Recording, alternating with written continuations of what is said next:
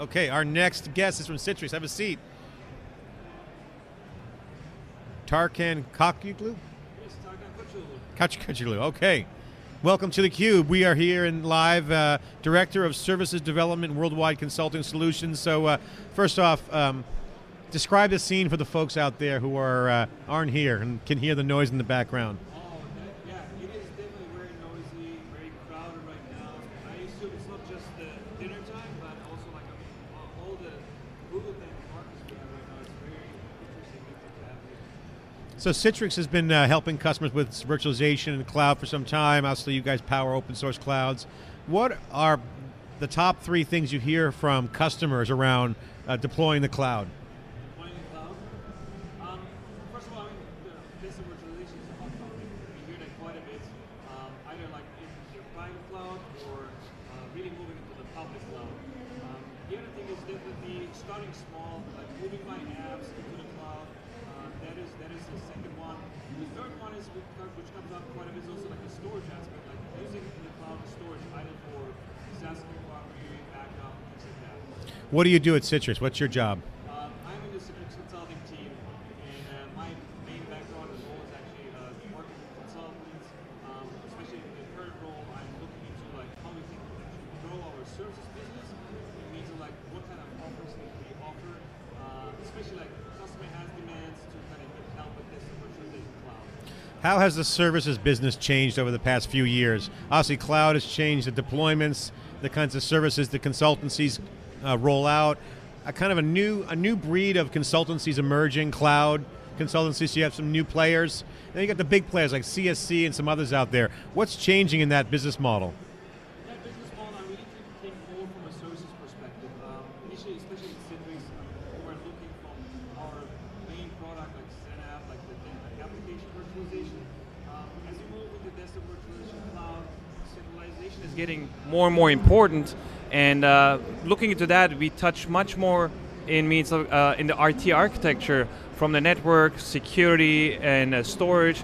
So we need to broaden that part of knowledge and uh, really consider to kind of provide the service the customer needs.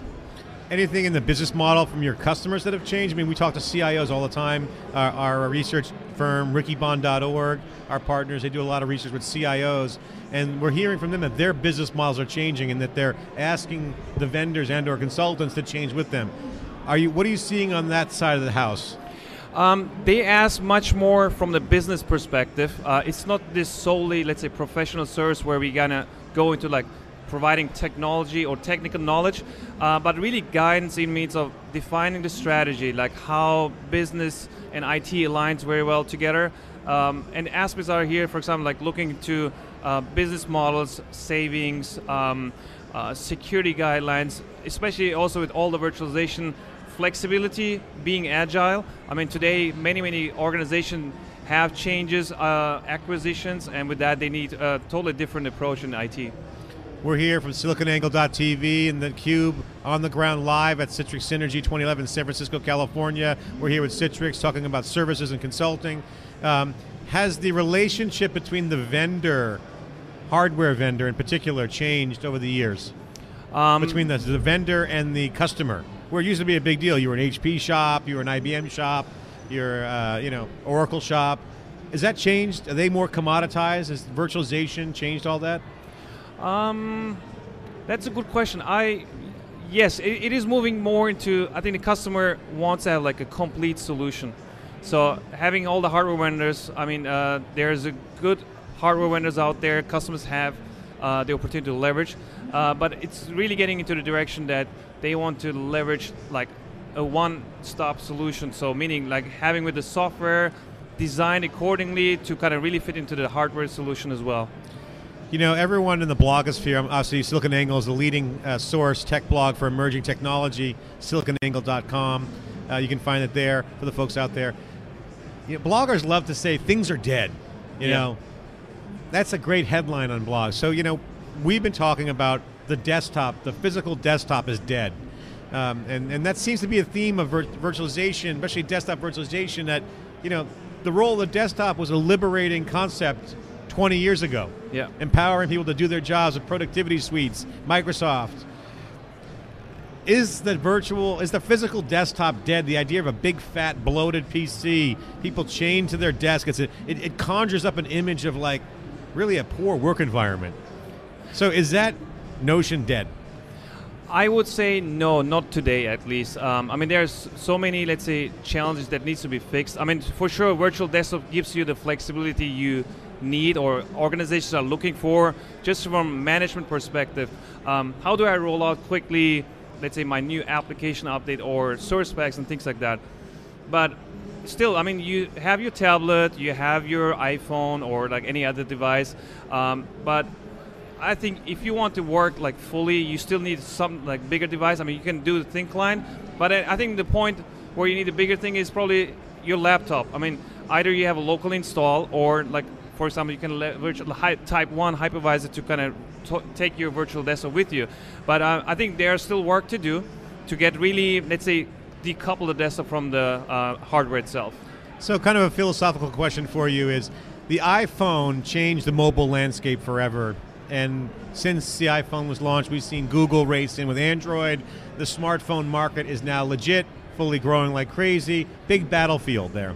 And certainly that was on the IT's radar. So they standard, a lot of them standardize on BlackBerry. Um, but we're saying at SiliconANGLE that it's the iPad that has changed the game. So the question for you is, in the enterprise, how much has the iPad changed the game in IT? from being tech jewelry to a very sexy deployment for CIOs. So it's eye candy on one hand or tech jewelry on the other, to actually a real bona fide platform. Has that? How has the iPad changed that, if any, from your perspective? Um, I think it started off. I would say, um, I mean, you had always like email access at least with your phone, um, and then you had your laptop. Uh, now looking into like you want to have some type of information in between. Um, it, we had the netbooks still out there, but I think the tablet yeah, netbooks kind of ho hum, didn't really do much. Yeah, I mean, yeah, it, I think it turned. Uh, or like the tablet PCs. I think it turned into really this uh, easy to handle um, tablet and portable. And especially, I think a, a good user scenario is like um, thinking about not only the managers like CIOs, but also like uh, the healthcare area, where this is makes it more flexible for, let's say, the doctors to carry around the information and things like that. So I think it iPad threw in a new device scenario, which probably was there to some degree, but uh, never w- reached probably the simplicity they, they kind of provided, and I think it's a new trend there. What about the uh, real time aspects of analytics and big data? Are you hearing a lot of customers talk about big data and analytics and real time? Um, you mean like? Yeah, reporting, data re- warehousing, business intelligence, those kinds of things. Yeah, I mean, that the, once it's centralized, for example, in our case, um, it is being leveraged for exactly like that because you, your application, once centralized, sits very close to to the source, meaning the backend. So that definitely speeds up the process of getting to your data instead of like pulling it from the data center towards your client. We're here at siliconangle.com, siliconangle.tv, the worldwide leader in emerging tech coverage. I'm John Furrier, the founder of SiliconANGLE. We are here at live at Citrix Synergy in San Francisco, California. This is theCUBE, our flagship telecast where we go out to the events, extract the knowledge from the guests, share that with you, and we're here live talking to Citrix about some of their big announcements and some of their changes. Here talking with uh, Tarkan about services. Um, so the question about Citrix, as a company, you guys have been pioneering the desktop. How real is VDI and desktop virtualization?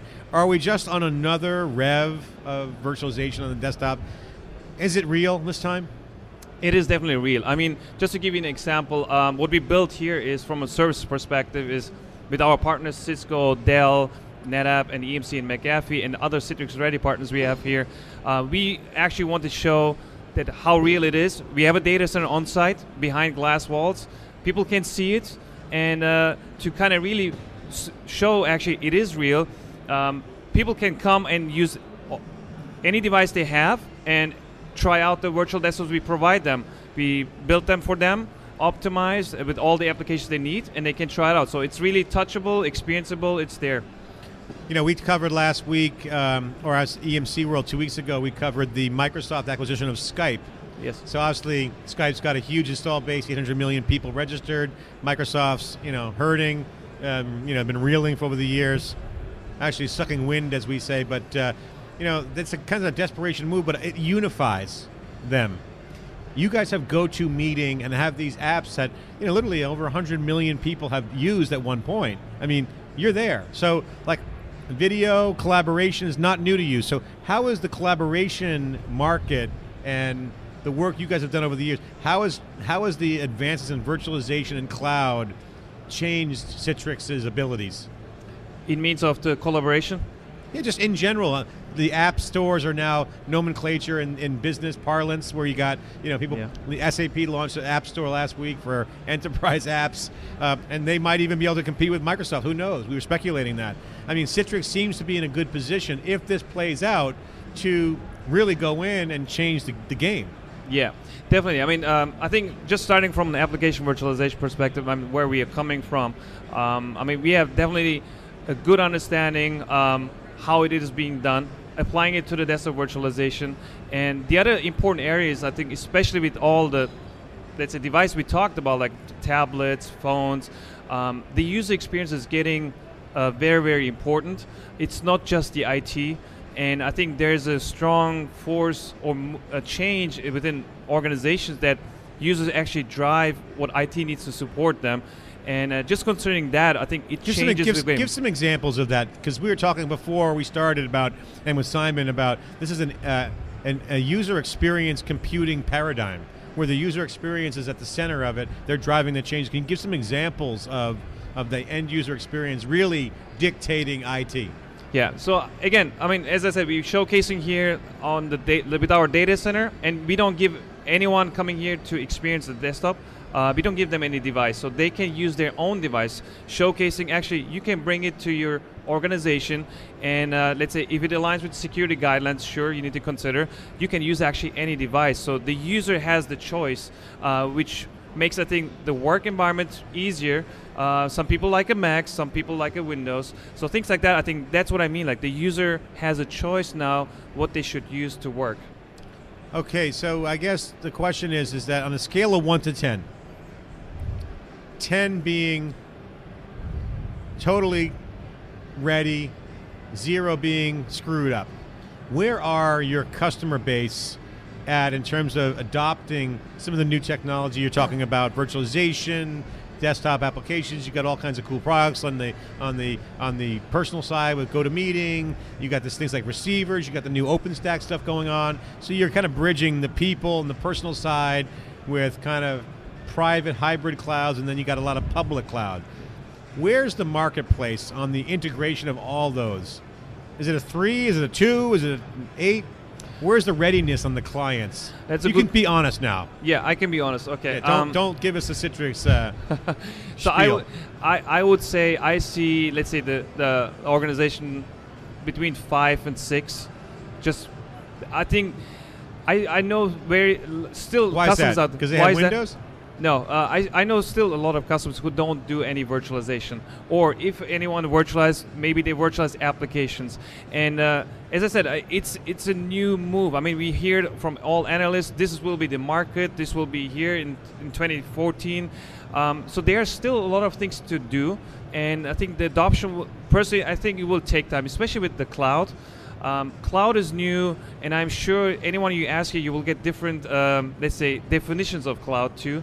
And uh, just taking that, What's uh, the number one? What's the number one reason, or what number one request you're hearing from customers it means of like, in terms of their needs, their biggest problem? There's always one room on fire. You know, is it licensing? Is it cost? Is it like a new feature? it's it's uh, probably for now. I mean, like uh, especially after Christ, the cost. Cost is one one point. Uh, security is another one, and uh, the other thing, especially like with changing business uh, quickly, they want to be flexible. Those three items I see the most coming up at customers where they want to go. What about this emerging segment around small, medium-sized enterprises? Because that seems to be a really hot, growing segment. We heard a lot about it at uh, SAP Sapphire last week. Um, you guys are um, going to be announcing some things in that area. Why is this area growing so much? Because they're a perfect fit to leverage the cloud technologies, or just an underserved market? All of the above. What's your opinion on that? Um, the small medium business is, in my opinion, uh, a big business area which wants to kind of benefit also from enterprise technologies. Um, today, I mean, think about like the um, coolest technology, the newest server hardware, the newest technology is usually in enterprise areas. It is it is not easy to adapt in the uh, SMB market, and uh, even though like let's say if you look at the large enterprise, the revenue piece or contribution overall to the economy is large, but the SMB, just amount of SMB we have out there is just um, immense. I mean, and that is not covered. So today with the technology we have, the cloud and things like that, I think SMB market gets an opportunity to join the enterprise type of let's say technologies, um, and cost-wise, it is also getting very reasonable. Okay, we're here inside the Cube. I'm John Furrier, the founder of SiliconANGLE.com, your reference point for emerging technologies. We're putting out hundreds of blog posts a week. We have analysts, we got research, we got data. We have the Cube, our flagship telecast. We go to the events and talk to the folks on the ground, get the knowledge, share that with you. Thank you so much for coming on the Cube. Appreciate it. Good luck with your services and your consultants and all the, your army of uh, services. Thank you.